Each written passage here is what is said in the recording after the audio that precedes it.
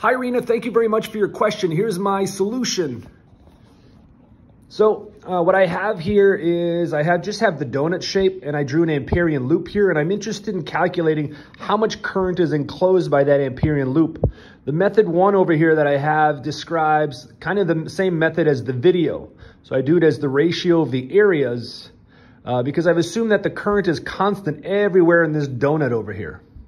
Method two is really a more general case where I integrate the current density over the total area of the Amperian loop.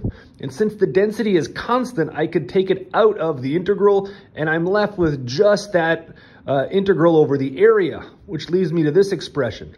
At the end, the current density you can always write as a total current divided by the total area of the entire donut. So then you get to the same answer regardless of the method that you use. Hopefully this helps.